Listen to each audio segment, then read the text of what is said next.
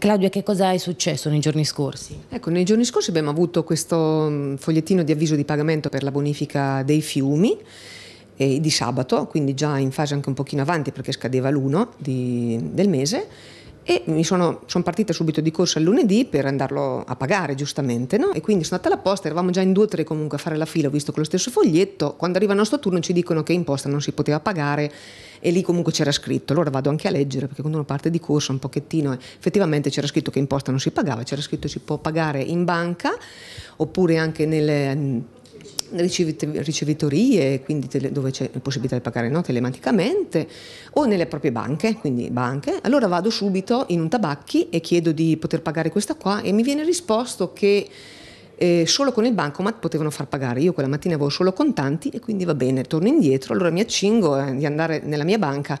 Vado nella mia banca e mi dicono no guarda non lo possiamo pagare dopo aver fatto comunque sempre la fila perché ovviamente c'è la fila ovunque, non lo possiamo pagare perché non abbiamo il collegamento per poterlo pagare per, per web, insomma.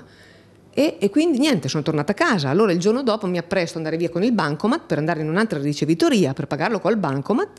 Vado a Fano e mi dicono: No, guardi, non possiamo farlo perché non, non ci parte il, il, collegamento e ci ritorna indietro. Quindi a tutt'oggi ancora non sono riuscita a pagare questa bollettina e mi trovo un po' in difficoltà. Poi mi sono informata stamattina con qualcun altro e mi hanno detto che si può pagare anche nei mini market oppure al credito valtellinese, però io non so. Oggi proverà in Oggi questi proverò, luoghi. speriamo di risolvere ecco, questo, questo problema perché per pagare una bolletta tre giorni mi sembra un po' eccessivo. Nella bolletta viene fatto riferimento anche a un sito internet, ecco lei lo ha visitato? Sì, ho provato per vedere anche perché dicevano che c'era un elenco di tutte le strutture dove si poteva andare, ma a parte apriva due o tre pagine consecutive che non arrivavi al dunque, e all'ultimo sono riuscita ad aprire una pagina ma dove c'è un foglio Excel con tutte delle cose che non, non, è possibile insomma accedere a un elenco definito di dove poter andare. Poi volevo anche dire, io poi fortunatamente ho la macchina, insomma mi muovo, ma la mamma del mio compagno che ha 82 anni e non si muove, come fa?